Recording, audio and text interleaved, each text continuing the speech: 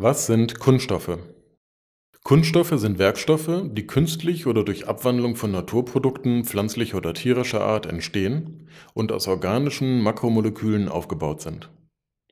Natürliche Ausgangsprodukte können beispielsweise Maisstärke oder Schlachtabfälle sein. Die typischen künstlichen Ausgangsstoffe basieren auf Erdöl. Dabei nimmt die Produktion aus Erdöl ca. 98% ein und die aus Naturprodukten hergestellten Kunststoffe knapp 2%.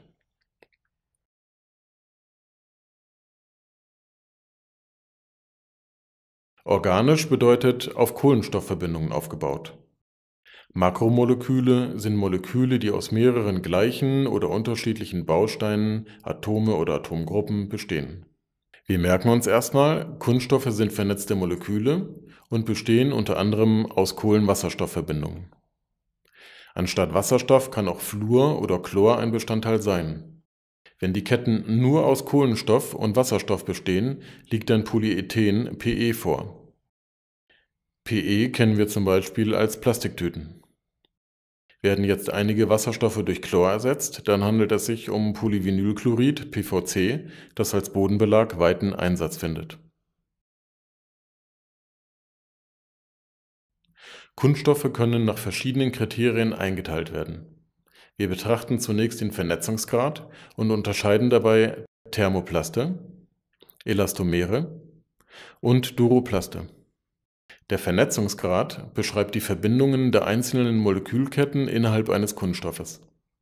Je nach Vernetzungsgrad verändern sich die mechanischen Eigenschaften.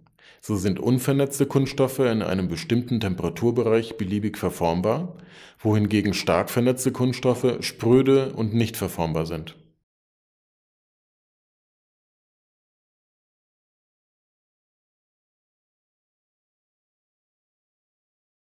Thermoplaste lassen sich noch einmal in amorphe und teilkristalline Thermoplaste einteilen.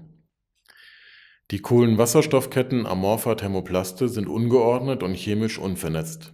Amorphe Thermoplaste sind durchsichtig, wie zum Beispiel Plexiglas (PMMA) oder Polycarbonat (PC), das beispielsweise für transparente Kugelschreiberhüllen verwendet wird in teilkristallinen Thermoplasten sind die Ketten teilgeordnet, das heißt in bestimmten Bereichen der Struktur richten sich die Kohlenwasserstoffketten aneinander aus.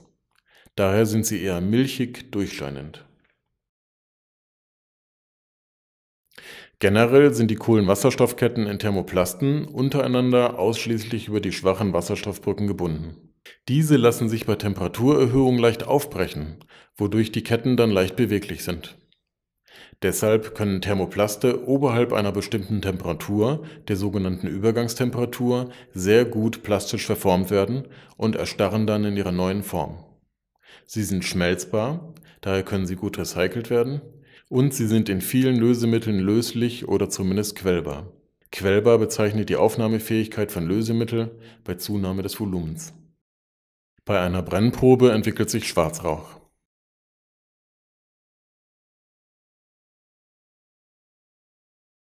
Elastomere besitzen chemisch schwach vernetzte Molekülketten.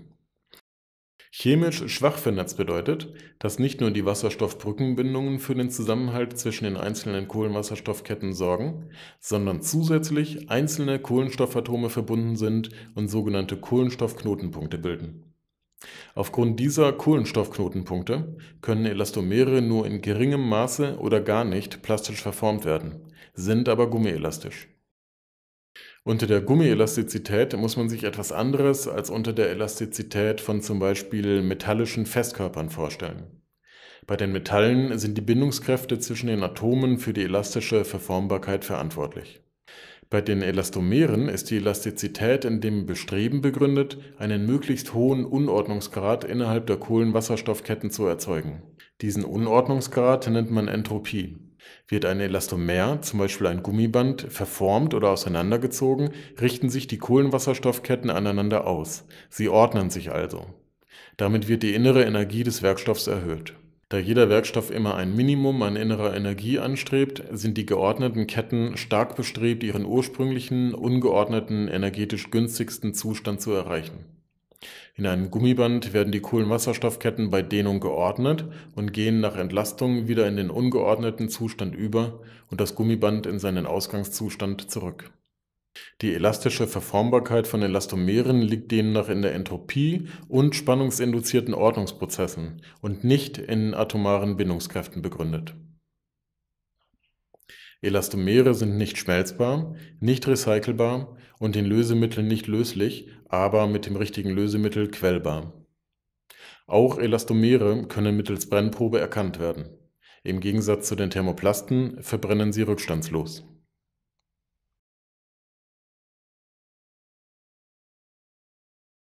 Duroplaste sind nicht verformbar, da ihre Ketten stark miteinander dauerhaft chemisch vernetzt sind. Chemisch stark vernetzt bedeutet, dass nicht nur die Wasserstoffbrückenbindungen den Zusammenhalt zwischen den einzelnen Kohlenwasserstoffketten bewirken, sondern zusätzlich viele Kohlenstoffatome als sogenannte Kohlenstoffknotenpunkte verbunden sind. Daher können Duroplaste unabhängig von der Temperatur nicht plastisch verformt werden. Sie sind ebenfalls nicht schmelzbar, in Lösemitteln nicht löslich und nicht quellbar. Sie können nicht recycelt werden. Im Vergleich zu Thermoplasten und Elastomeren haben duroplastische Kunststoffe die Eigenschaft, dass sie sich während des Verbrennungsvorgangs aufblähen und damit die Oberfläche vergrößern. Die Folge ist, dass Sauerstoff eintreten kann und somit die Verbrennung beschleunigt wird.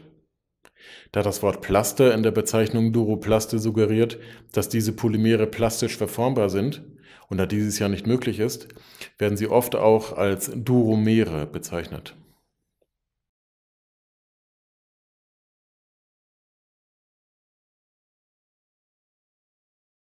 Bei der Einteilung nach dem Vernetzungsgrad werden amorphe und teilkristalline Thermoplaste, Elastomere und Duromere unterschieden.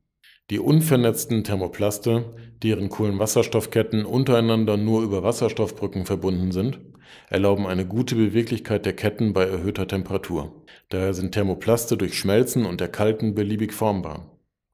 Die schwach vernetzten Elastomere deren Kohlenwasserstoffketten zusätzlich über einige wenige Kohlenstoffknotenpunkte verbunden sind, sind elastisch, aber nicht plastisch verformbar. Die stark vernetzten Duroplaste mit einer Vielzahl an Kohlenstoffknotenpunkten sind kaum elastisch und plastisch nicht verformbar.